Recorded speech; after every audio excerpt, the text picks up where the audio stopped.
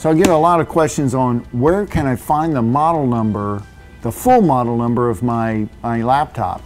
Well, that's depending on the manufacturer of the laptop. So for Panasonic Toughbooks laptops, they're going to be on a white sticker on the bottom of the laptop. The top one, for example, this is a CF19, so it says CF-19ZE-00CM. That's a CF19. Go to my blog on Toughbook Model Numbers for Nerds. That'll tell you what generation this laptop is.